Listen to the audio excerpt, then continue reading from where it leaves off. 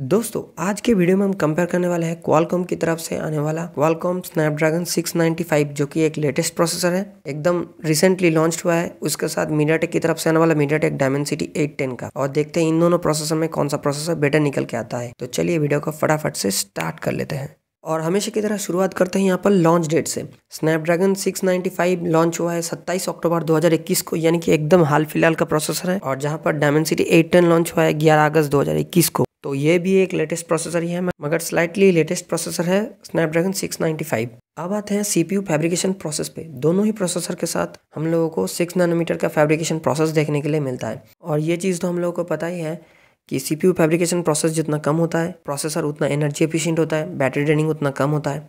Performance उतना बढ़िया निकाल के देता है तो इस मामले में दोनों प्रोसेसर एक जैसा ही है। अब आते हैं सीपीयू आर्किटेक्चर एंड कोर्स पे। दोनों में ही हम लोगों को 64 बिट का ऑक्टा कोर स्ट्रक्चर देखने के लिए मिलता है, यानी कि दोनों प्रोसेसर पे ही टास्क डिस्ट्रीब्यूशन और मल्टीटास्किंग के लिए आठ आठ कोर दिया गया है।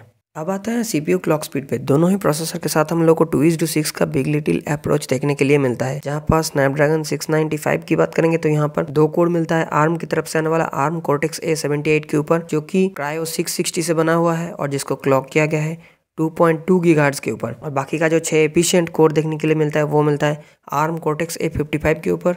जहाँ पर क्लॉक स्पीड देखने के लिए मिलता है 2.0 point zero gigahertz MediaTek Dimensity 810 की बात करेंगे तो यहाँ पर दो कोर मिलता है। आर्म की तरफ़ से आने वाला Arm Cortex A seventy six के ऊपर, जो थोड़ा सा पुराना कोर है और जिसको क्लॉक किया गया है टू पॉइंट के ऊपर। और बाकी का जो छह एफिशिएंट कोर यहाँ पर मिलता है ए फिफ्टी फाइव के ऊपर, जो कि क्लॉक किया गया है टू पॉइंट के ऊपर। डायमेंसिटी 810 पे क्लॉक स्पीड थोड़ा सा ज़्यादा देखने के लिए मिलता है, मगर स्नैपड्रैगन 695 पे यहाँ पर लेटेस्ट कोड दिया गया है। तो यहाँ पर सीपीयू क्लॉक स्पीड के मामले में स्नैपड्रैगन 695 बेटर प्रोसेसर है। अब आते हैं जीपीयू पे, यानी कि ग्राफिक्स प्रोसेसिंग यूनिट पे स्नैपड्रैगन 695 पे। हम लोगों को देखने के लिए मिलता है क्वालकॉम एड्रीनो 619 जीपीयू जो कि एक सिक्स नैनोमीटर के ऊपर बना हुआ जीपीयू है, और जिसको क्लॉक किया गया है 975 मेगाहर्ट्ज के ऊपर 975 मेगाहर्ट्ज के ऊपर। जहाँ पर डायमेंसिटी 810 की बात करेंगे तो यहाँ पर देखने के लिए मिलता है Arm Mali G fifty seven M C two जो कि एक डुअल कोर जीपीयू है, और जिसको बनाया गया है सेवन नैनोमीटर के ऊपर।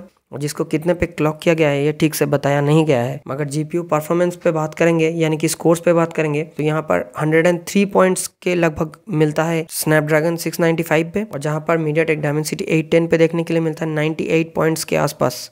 तो ग्राफिक्स प्रोसेसिंग यूनिट पे स्नैपड्रैगन 695 बेटर प्रोसेसर है। अब आता है कैमरा सपोर्ट पे। स्नैपड्रैगन 695 पे हम लोगों को ट्रिपल कैमरा तक का सपोर्ट देखने के लिए मिलता है।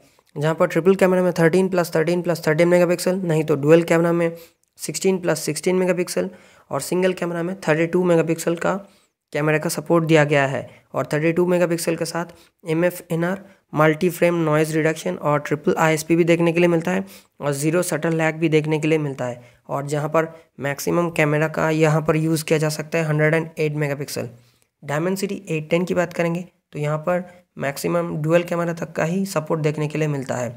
जहाँ पर डुअल कैमरा में 20 प्लस 16 मेगापिक्सल और सिंगल कैमरा में मैक्सिमम 64 मेगापिक्सल तक का ही सपोर्ट मिलता है।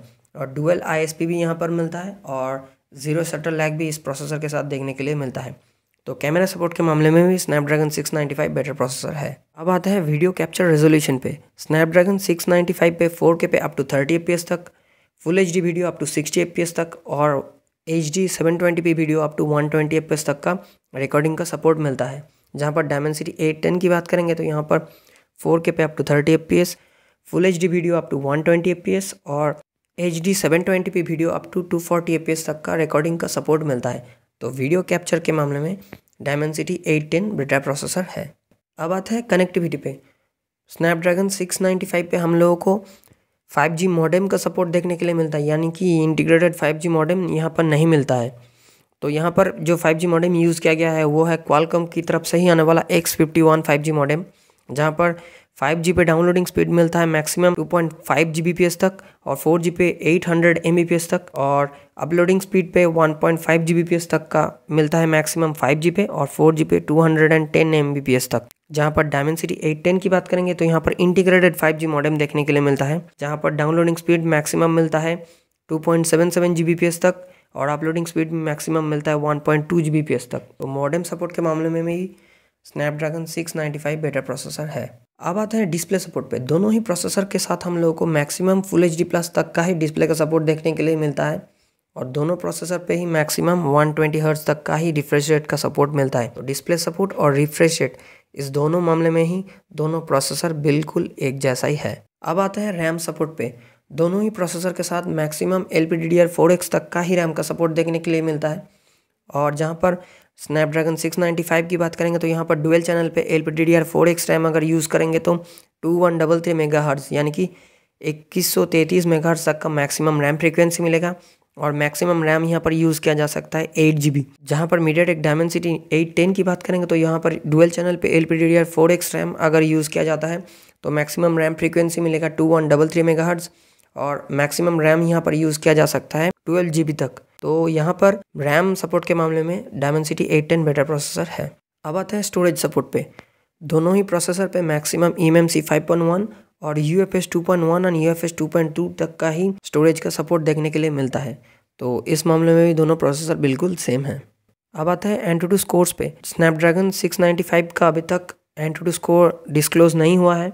तो अगर जब डिस्क्लोज होगा तो मैं आप लोगों को इन्फॉर्म कर दूँगा। और MediaTek Dimensity eight ten की बात करेंगे तो यहाँ पर इसका टू स्कोर निकल के आता है three lakh eighty thousand four hundred and fifty eight points तीन लाख अस्सी हज़ार चार सौ अट्ठानवे पॉइंट। जहाँ पर गीक बेंच की बात करेंगे तो यहाँ पर भी मामला बिल्कुल सेम है। यहाँ अभी तक डिस्क्लोज नहीं हुआ है स्नैपड्रैगन सिक्स नाइन्टी फाइव का स्कोर्स और डायमंड सिटी टेन की बात करेंगे तो यहाँ पर सिंगल कोर पे मैक्सिमम मिलता है six hundred and two points और मल्टी कोर पे मिलता है अट्ठारह सौ तैतीस points one thousand eight hundred and thirty three points अब आता है साइड बाय साइड कंपैरिजन पे। कौन सा प्रोसेसर में कौन सा डिपार्टमेंट पे बेटर निकल के आया? स्नैपड्रैगन 695 पे हम लोगों को बेटर सीपीयू देखने के लिए मिलता है बेटर जीपीयू देखने के लिए मिलता है बेटर कैमरा सपोर्ट देखने के लिए मिलता है।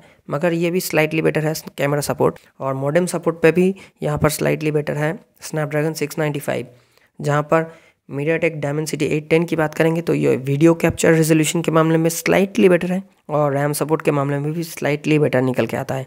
तो आज के बैटल का रियल विनर निकल के आता है क्वालकॉम स्नैपड्रैगन 695 अब ये तो हो गया स्पेसिफिकेशंस कौन सा फ़ोन में हम लोगों को ये प्रोसेसर देखने के लिए मिलता है? यही है मुद्दे की बात। सुनने में आ रहा है कि Redmi Note 11 सीरीज़ जो इंडिया पे लॉन्च होने वाला है, उसका वैनिला वेरिएंट Redmi Note 11 पे Snapdragon 695 देखने के लिए मिलेगा, जहाँ पर Dimensity 810 ऑलरेडी बहुत सारे फ़ोन पे हम लोग को देखने के लिए मिला है।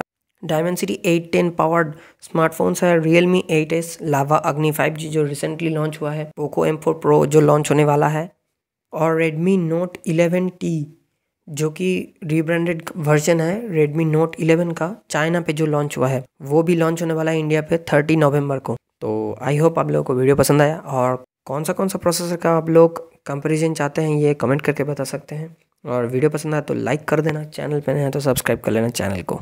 बाय